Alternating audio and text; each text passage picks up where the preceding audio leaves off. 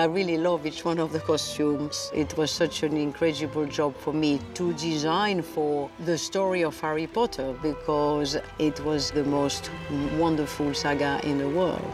Wow. What is the world of Hogwarts? You can draw from any inspiration, any history, any period.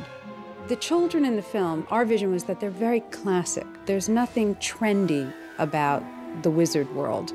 We tried to keep anything away like trainers. There's no logoed anything, anything that smacks of modern. It's very sort of very classic. I was really going for less of a contemporary look I, I, because I, I always wanted the film to have some, some sort of timeless quality. So their wardrobe, I remember their wardrobe test dressing them as these adorable little English school children, and they just, they looked amazing. I relied on Chris Columbus a lot for Harry. I mean, in the beginning, it's clear his clothes are too big. They're old, they're torn. Once he got to the school, Chris didn't really want him to look like that. It's distracting.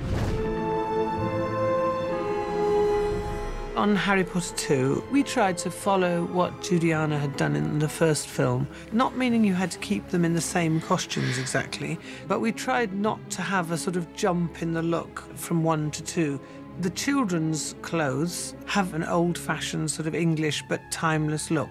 People often ask me, you know, aren't you going to grow out of your character, or, or isn't Hermione going to grow out of you either way? But it's it's perfectly timed because it takes a year for the film to be filmed, and so it's going up in years, so it works. So I'm growing up with her, if you know what I mean.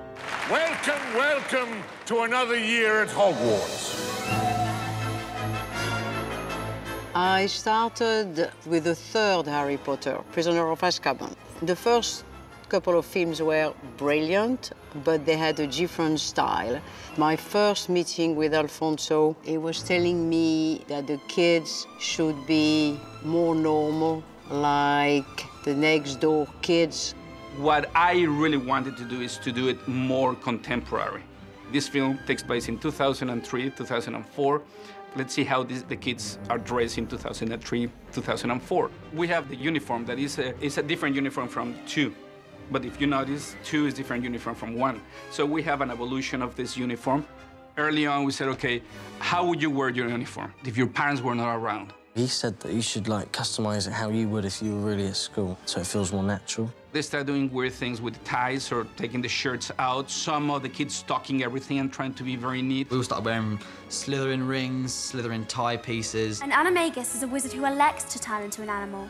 A werewolf has no choice. Hermione is the first of the class, so she looks good, she looks neat.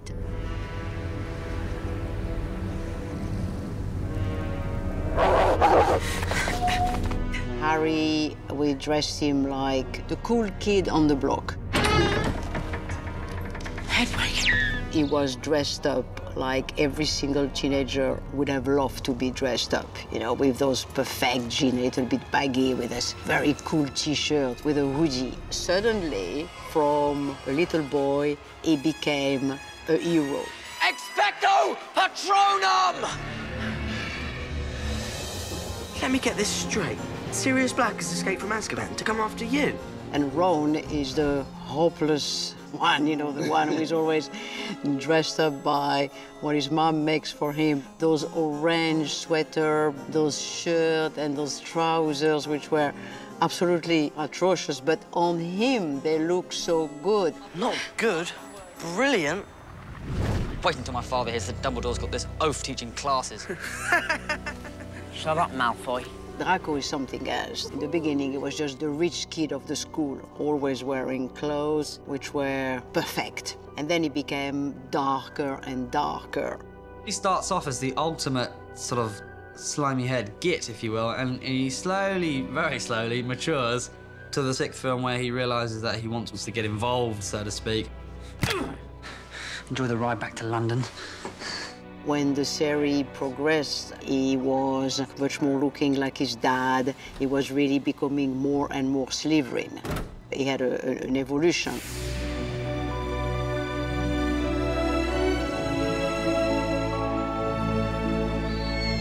On Christmas Eve night, we and our guests gather in the Great Hall for a night of well-mannered frivolity. The Yule Ball is a key moment for each one of them. I remember that the girls were extremely excited and the boys were a little cooler about it. All the girls got to dress up and the guys were in tuxedos. This is my big dance day. To dress Harry, I had designed those evening wear gown and I remember Harry pushing that on and he felt that he was looking really good. It was amazing, but what's bizarre is it looks even better on camera. I don't know why it is, it just looks absolutely beautiful. Ron, at the contrary, had to wear that terrible gown, and it had a little bit of a 70 look because it's from the auntie, and she's one generation before. I look like my great aunt Tessie. Mine is just, oh, it's horrible. It's like pink lace all over it, covered in like flowers. Then, on the other hand, there is Emma, or the Ballspan Emma. Um, and I loved it because of that. For Hermione. that was her first dress, her sweet 16. I found the color straight away. I thought she has to have something pink. But I don't want a pink, I want a pink going into mauve, and I want something moving. It's magical. Absolutely beautiful dress. I've never worn anything so beautiful. I was terrified I was going to rip it or spill something on it or anything. So literally, I would not sit in it, I would not walk in it, I would not do anything in it apart from what I had to do in it because I was so worried I was going to wreck it.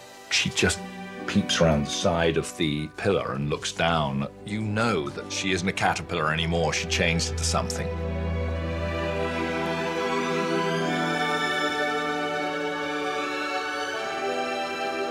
So nervous about the whole thing because it's meant to be such a big moment and it's going to be an anticipated moment and um, I had so many pointers from Mike about how he wanted to look. Um, I got down about three steps and fell down in front of the whole set, which was incredibly embarrassing. But um, no, it should be good in the film. You won't see that bit. Oh, Harry! When we were shooting Harry Potter or the fifth, sixth, seventh films, of course, he grew. I mean, I met him when he was like 12 years old, and I left him when he was 19, almost 20. But his style didn't change. In a way, Harry is the lonesome cowboy, so he's always wearing dark color and the cool thing that the kids want to wear. You must tell us everything. Let the man breathe, Hermione. And Hermione, when, when she started being older, she was, of course, more aware of her impact, you know, to boys. She was slightly more stylish. When they are on the run for the seventh movie, I remember uh, Hermione crossing Piccadilly Circus in that dark, that red dress floating. It was the end of a journey from a girl being in high school to a woman who tried to do something in the world. We're always changing. You know, every year we look older, we've learnt more things, we've grown up, we've developed, and that in itself is exciting. I mean, to have the same cast for a decade, it's unprecedented. Together.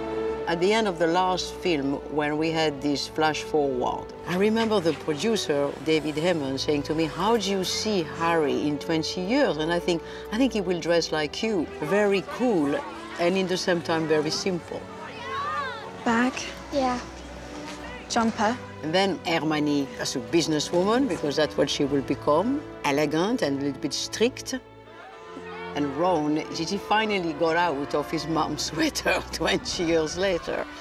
And I gave him something more normal and a jacket, but I still kept it a little bit clumsy to not lose his personality, because that's very important in the dynamism of the three of them.